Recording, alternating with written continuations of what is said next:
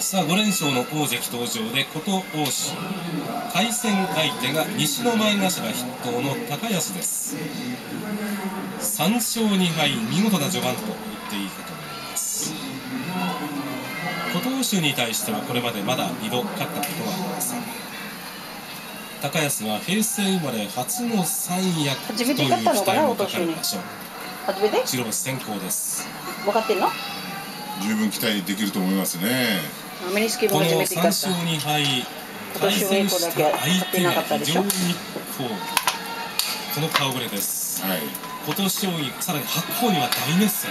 そうですね。まあ白鵬といい相撲を取った時にもですね白鵬が回しを取ってるのに寄り切れないんですね。そうでしたね。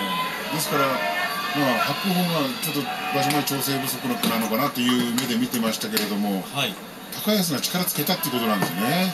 その高安については向正面の稲川さんは序盤どう見ますか？あの言われてる通りにあのやはり力つけてきたと思いますね。はい。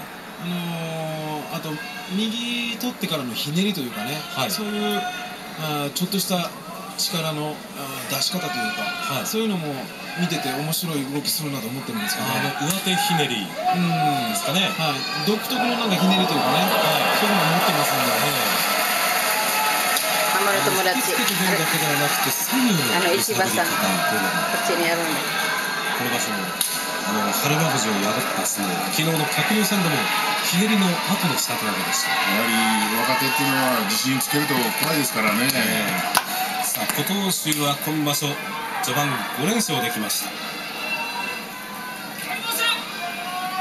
今日も大関への挑戦が続きます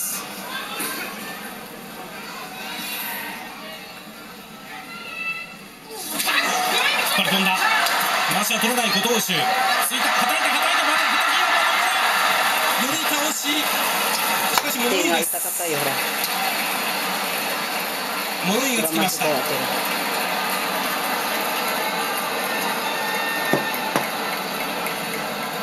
回しが今日取れなかったことを一瞬はたきがまともでどうなったか、うんそうですねただいい相撲ですね安が左を突きつけて出る琴欧州が小手投げ高安の手はついていますが琴欧州の体もかなり飛んでいます軍配は琴欧州に上がっていますどちらが先に落ちたかだけで見ると高安が落ちているようですがまああと琴欧州の飛んだ体がないそういうところでしょうね。もう一度今の土俵際です。飛んでるんですけども確かに上にはどちらが先かという点では高安が下です。まあそれにしても高安は堂々とした相撲を取ってますね。大関相手に、ますね競技は終わりました千葉さんニコニコしてるこっちただいまの競技について説明いたします。行司軍配は琴欧州に上がりましたが、同体じゃないかと物言いがつき、協議した結果、両者が体が落ちるのを同時と見て、これをしたいと思います飛んでもになりました確かに琴欧州の体は相当飛びましたそうですねただ琴欧州も全勝できてますからやはりしぶとさがありますね。あの、はい調子が思わしくない時はあそこ簡単に土俵割ってますよね、そうですね。今場所はこう集中してるって言いますかしぶといですよね。はい、そして今場所はあのいつもほど頭を下げすぎず回しを取りに行くそんな立ち合いができています、まあ今場所は大関らしい相撲って言いますかね、はい。豪快な相撲がありますんでね。え復活しつつあるのかなっていう感じがしますね。大関に上がってきた頃の相撲ですね。えこう右の上右目の上に絆創膏がありますがこれ場所前の稽古で、まあ、額が割れるというか、はい。割れてしまってという稽古ができない。控えた日もあったんですが、頭をつけに行くというよりは上手左の上手を狙うこれだけの身長がありますんでね、はい。大きい相撲を取ると力出すと思いますね。取り直しの一番です。制限時間いっぱい。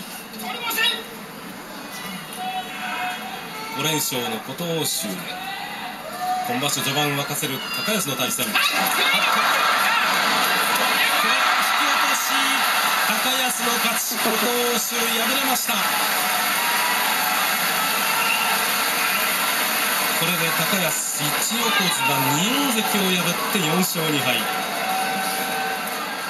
今の一番取り直しの一番向正面の稲川さんにも伺っていきます。稲川さん、大関の方が勝負を逃げたようにも見えたんですがどうですか？ちょっと安易にね、はい。あの組みに行ったというか張り差しに行ったというかね、はい。そのまあ相手の立ち合いの圧力が強いわけですから、ええ。やはり当たり込まないと今みたいに感覚が空いてしまうわけですよね。はい。それなのにあのて取りに行ったっていうのが範囲じゃないですかね。うーん最初はね左の上手を取りに行く大関らしい形だったんですがそうなんですよね。あの立ち合いのまあ強かったと思うんですよ。一番最初の取り組みの時に。はいあーだからそのどうにかして止めようと思ったんですけど、ええ多分あのまあ針で止めるというよりはその当たって止めた方がうんあの良かったと思うんですけどね。ねしかしそれにしても高安いいですね素晴らしい動きしてると思います。はい。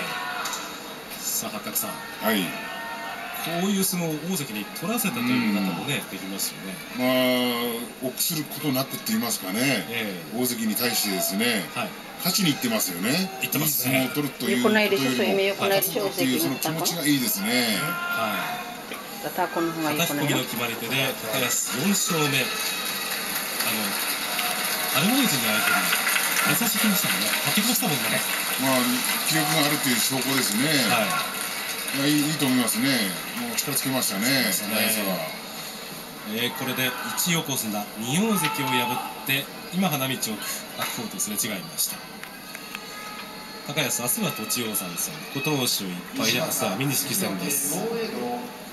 大阪府寝屋川市出身境川部屋東方大関鶴竜モンゴルスフバートル出身井筒部屋順ボにもいいし大丈夫。は木村光であります。土俵には1勝4敗インタビューに待ってるから。豪栄道と3勝2敗の鶴竜インタビューです終わったら。鶴竜にとってはかなり苦戦をする相手。何会社に来てる？の会社に来てるの見てもいいの？みんな見てんの先場所は鶴竜が豪栄道をあらまあ破っていますが中に入られ突き放しお互いにはたきに行ってほとんど同時に落ちるというようになりました。